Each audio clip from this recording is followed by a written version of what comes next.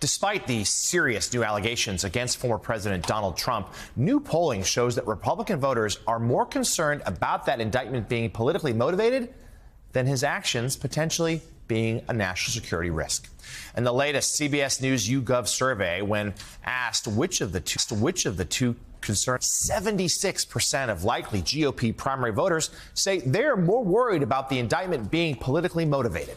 Just 12% say they're more concerned about the possible national security implications. Furthermore, if it is proven that Trump took classified documents containing military or nuclear secrets, only 38% of likely Republican voters say that would be a national security risk. Among the rest of the country, that number's up to 80%. And overall, 61% of likely Republican voters say the new charges will not change their view of Trump.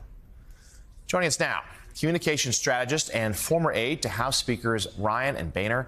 Brendan Buck. He is now an MSNBC political analyst. Brendan, great to see you. Let's just start right there. What's your reaction to all of that polling?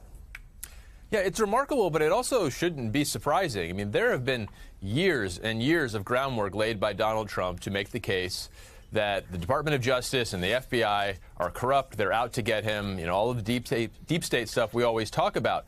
Um, and it's also important to appreciate that a lot of Republican voters get a lot of this information very differently. Uh, you know, whether it's certain networks they watch or whatever it may be. There is a very deeply held sense that there are forces in Washington who are out to get Donald Trump. This polling like that doesn't just happen by accident. It doesn't just happen based on what just happened. It's been years. So that's what makes it so hard um, to hold him accountable, and that's what makes it so hard for some of his uh, the folks running against him in this primary to navigate and how to actually take advantage of this situation.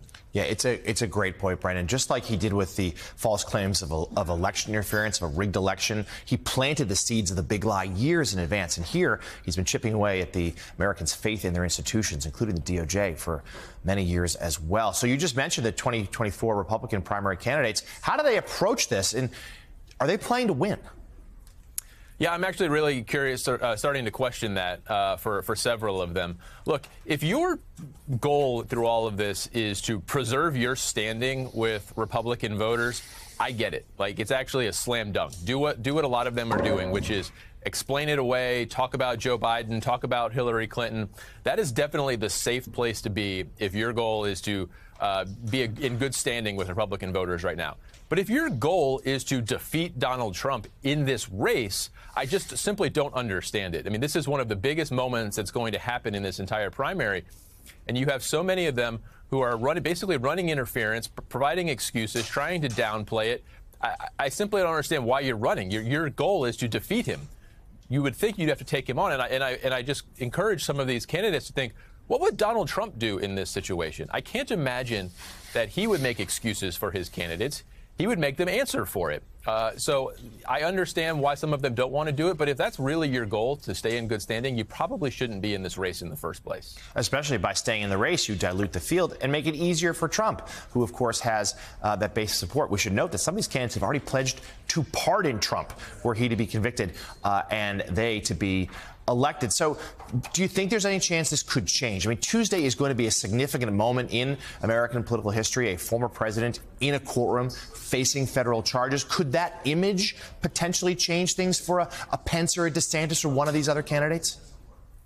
I think there is a chance that over the, over time there can become a question of whether this is actually a person who can get elected, mm. and I think there are real questions about that. And uh, I, I, try not to put too much, uh, give too much credit to to uh, either Republican or Democratic voters really on the question of electability, but it's a real issue. But it will only be a real issue if some of his opponents make people confront that question. If you talk about it, if you say, is this the type of person who could actually defeat Donald Trump?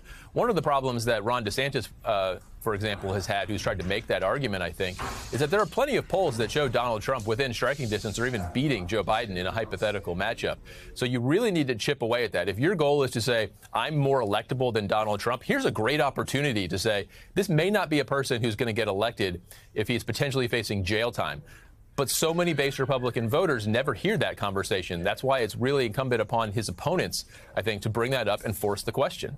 Yeah, the DeSantis campaign has sort of whispered to allies and, and reporters alike, saying, "Hey, we think that these indict these criminal investigations could help take Trump down," but they haven't moved on it yet. Two indictments already. There could be more. We'll have to see if the GOP primary field changes tactics. Brendan Buck, Brendan Buck, thank you so much for joining us this morning, and thanks to all of you for getting up way too early with us on this Monday morning. Big week ahead.